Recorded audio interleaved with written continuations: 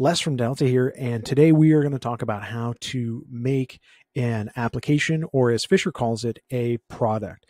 The products will start from the DefMA that you've already got. If you don't know how to make a DefMA, hop over to the other video where we talk about how to do that.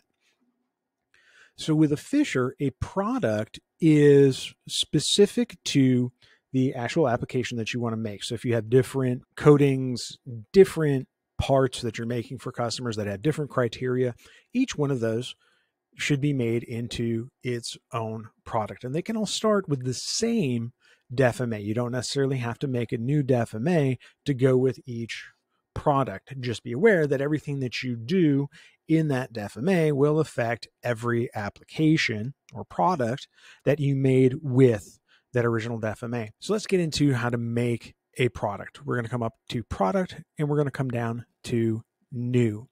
Uh, you do not need to worry about what type of FISM you have, if it's a basic, light, super, ultra, mega, whatever. You don't need to worry about it. Uh, that's only important when it comes to creating new DefMAs. If you already have the DefMA, you can make a new application. So from here, we could start from another application and use that as a base and do kind of like a save as new or um, save as. However, we're going to just start completely fresh. So we want to come over here to the new button and we're going to click that. And now it's going to ask us to select a DefMA.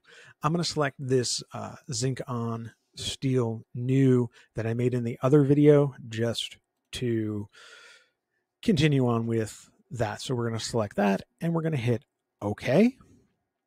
Now, what do we want to call it? You can call it the product that you're measuring, the part you're measuring, the customer. Uh, we're going to call this one zinc on steel uh, video test again, just so I can keep it separate from all the other zinc on steels that I've made. If you want, you can also change the number.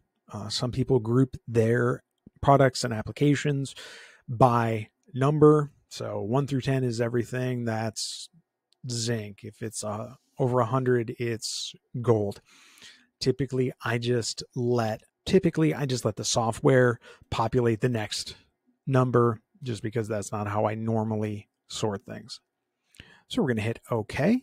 On this screen, we're going to select which collimator and or measuring distance uh, we want to work with. Uh, I'm on a Fischer XDAL on this one. Uh, measuring distance really is not an option to change in this particular unit. Do have a few different collimator options collimator options really fall into more of an advanced parameter. So if you need to change this, you know. Rule of thumb, however, is at the very least, the entire circle of the collimator needs to fit on what you're measuring. Preferably, uh, it doesn't cover more than 50% of what you're measuring uh, just to make sure that you're not getting any extraneous readings from outside of this circle. We're going to leave this on a 0.6 diameter. Uh, this is also known as a 12 mil collimator. It's very, very standard, very stock collimator. Anode current, allow that to auto calculate. That allows the software to pick the best anode power to go with your application. Again, if you know what your anode current should be, you're going to know that you can uncheck this and set it to whatever you want. If you don't, just leave that checkbox. So now we're going to hit OK, moving on to the next screen. At this point, we are going to now put in the calibration standards we want to use with this application. Uh, this can be particularly important if we have different substrates that we're working with, different densities of our coatings, things like that uh, we are going to put in two standards. As usual, our rule of thumb is we want to put in one standard that is uh, at or below our low threshold for our acceptance criteria, and one that is above. Uh, for sake of argument, we're going to say that our acceptance criteria is uh, 200 to 500 micro inches. Uh, I have a 212 and a 474 that we're going to put in. If you have a calibration set label, you know which ones these are. Um, you can put that in here, and I'll show you why that becomes important later. I'm going to put DNFE. I can't type. And the serial numbers of my two standards that I'm going to put in as my label. Now we are going to come down here. Once you've got your label in, the next thing that we're going to want to do, and it's going to seem like a, a little bit out of order, but we want to come down to units. It is very, very, very important that the units that you select here match the units that are on your standards. Uh, as I said before, I have got micro inch standards, so I want to change this from microns to micro inches. If we were in mils or nanometers, obviously we can put it in here.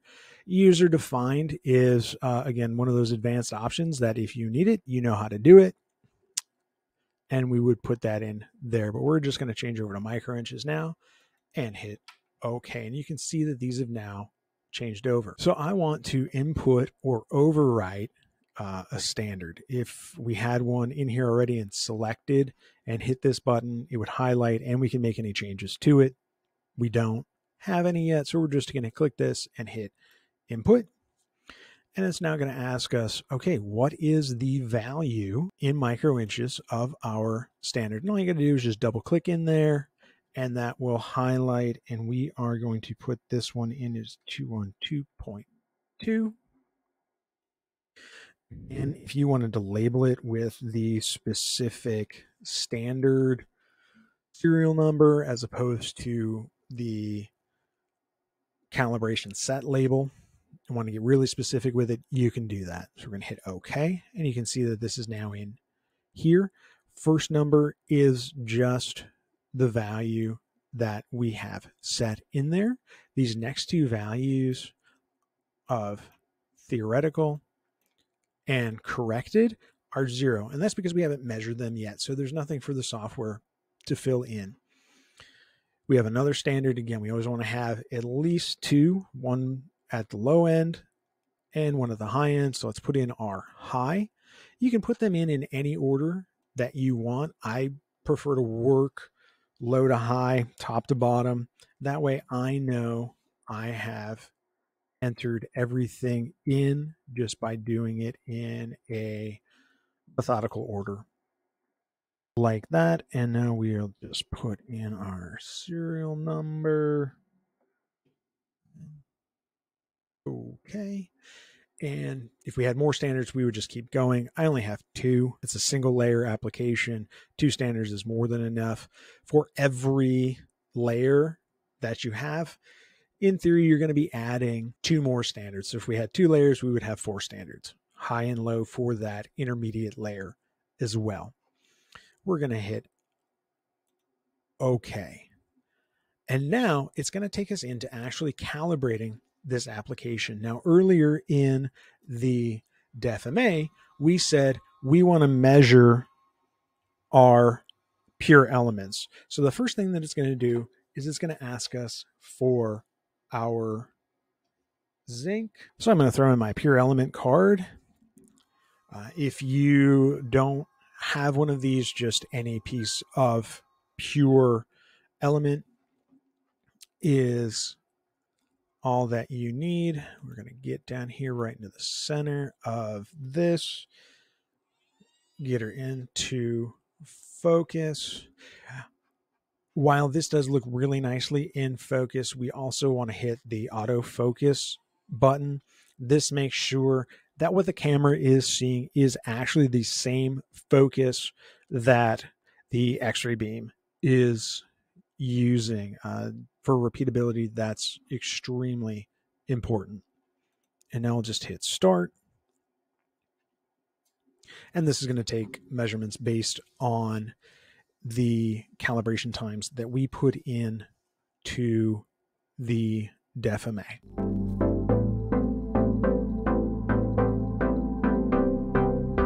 All right, now that it's completed reading on zinc, we can see that it's now asking for steel or iron. You can see that it's starting to populate these numbers over here. X is just the number of counts that the detector has picked up off of that element in its particular channel. Uh, I'm not going, well, you know what? I am. I am going to hit the autofocus button again. Probably don't need to do it since we're all in the same plane. Uh, but let's be sure. Good best practice. And again, hit start.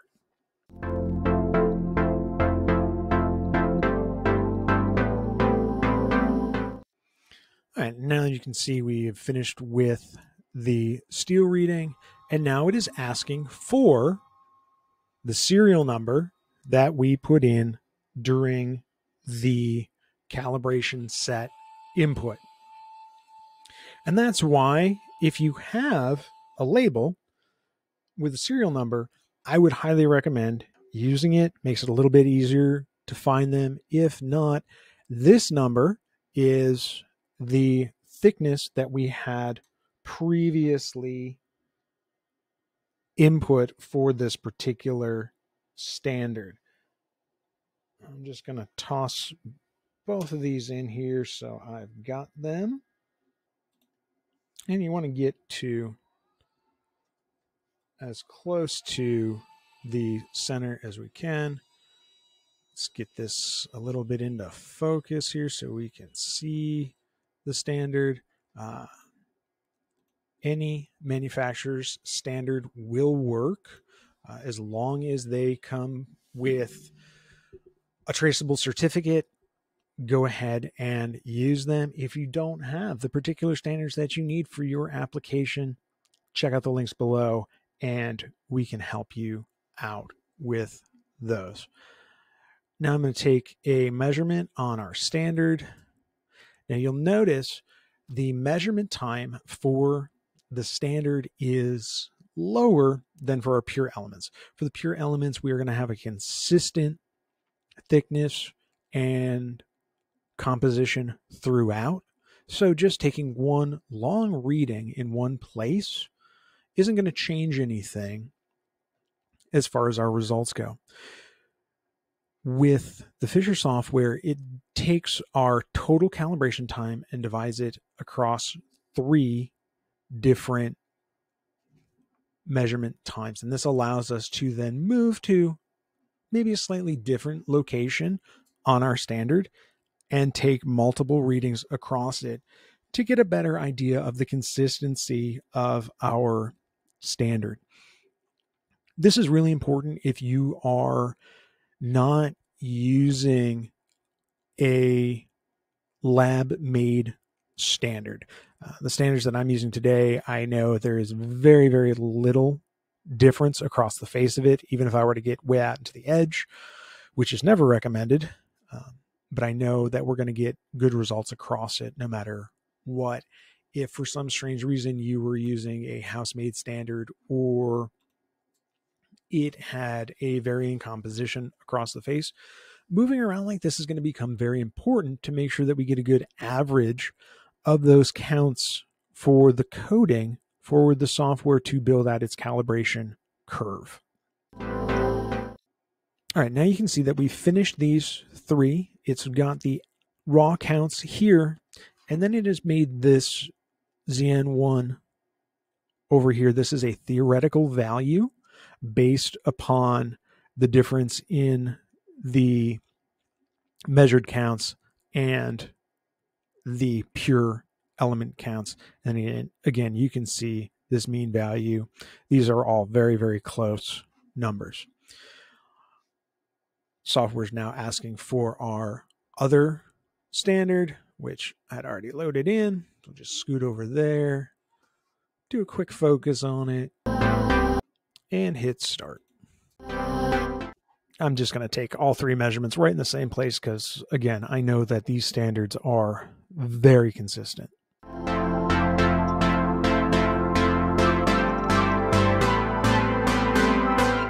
All right, now that we've measured all of our standards, it's going to pop back up this input calibration set window again. And now you'll see that our theoretical and corrected values are now populated. So this theoretical value is this average number that we got from our three measurements on our standard. And this is just straight based off of the theoretical value that's calculated by the software. Well, we know what these standards actually should measure because they're certified standards. So it's then correcting them up to, so it is now correcting them up to this certified value. We're done. We're going to hit OK now. Now it's going to say, all right, where do we want to create this product? You can have multiple directories if you had different customers. If you want to group by coatings, you can make new directories and fill them in there. I'm just going to leave this in the DSA folder that I've made, and I'm going to leave the name what I had already created back at the beginning. And we're going to hit OK. And now it's going to load us into that application, this product that we made previously. The one thing that I want to point out is what we had talked about earlier when we were naming this calibration set. Now, here underneath all of our results, it tells us what calibration set we used for this application. This can become very important when you have multiple calibration sets, multiple standards, uh, multiple variations, and you want to just quick reference what calibration set am I using. It's also helpful when you go to hit calibrate, you know which set you need to have in front of you when you go to calibrate. Now we've gone through the calibration, and while I would love to trust everything that we did, I always like to verify. So I have our middle check standard that we are going to use to test our application. Let's get this little guy in focus here. And again, let's move to the center. Autofocus, again, making sure that what we're seeing is the same focal distance away from the tube and detector to make sure that we're measuring at the same height we calibrated at. I'm going to hit start. It's going to take a quick 10 second reading. And this is just to verify that the calibration went correctly. And this is something that you could do on a daily or weekly basis just to verify your calibration. I would recommend taking maybe five to 10 measurements for this. We are just going to take the one to see how we did. 325. I got a 313 is 96%. So that's plus minus 5%. This calibration is good. Les from Delta, thanks for watching. Don't forget to like and subscribe so you don't miss any of our calibration and equipment solution videos. Video didn't answer your questions? That's okay. Click the link below, go to our website, you can contact us through there, or our Facebook page.